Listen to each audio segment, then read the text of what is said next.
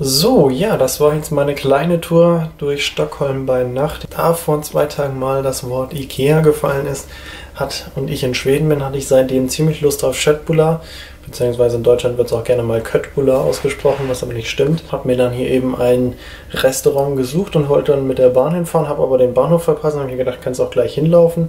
Bin ich einmal hier durch Gamla Stan, also die Altstadt gelaufen und dann zum Opern in das Restaurant. Das hat für den deutschen Geschmack ein bisschen komischen Namen, aber heißt wirklich so Backfickern. Kann man auf jeden Fall sehr, sehr guten Gewissens empfehlen. Also ich kann schon mal garantieren, dass ich nicht mehr zu Ikea gehen werde, um Schöttbuller zu essen, weil äh, Jetzt weiß ich, wie es eigentlich schmecken sollte. Das war schon ziemlich geil. Natürlich relativ teuer, also mit Getränk 25 Euro. Aber ähm, auf jeden Fall war es das wert und äh, Stockholm ist generell relativ teuer, was Essen angeht.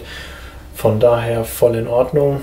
Und ja, dann bin ich nochmal ein bisschen zurück durch Gamlas dann die Altstadt gelaufen, habe noch ein paar Fotos gemacht. Die blende ich dann beim Abspann wieder ein. Und ja, jetzt bin ich hier auf meinem Schiff mal wieder.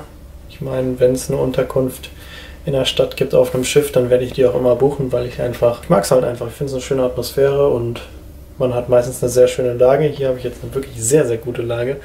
Also der Blick aus dem Fenster ist unbezahlbar und das Ganze für meistens sehr wenig Geld, also eigentlich eine perfekte Kombination. Jetzt werde ich noch ein bisschen Videos und Fotos bearbeiten, aber nach einem Tag mit einem Flug zwei Stunden Skifahren und dann noch eine Nachtwanderung durch Stockholm ist man auch relativ fertig. Das heißt, ja, das war es jetzt auf jeden Fall erstmal von diesem Video.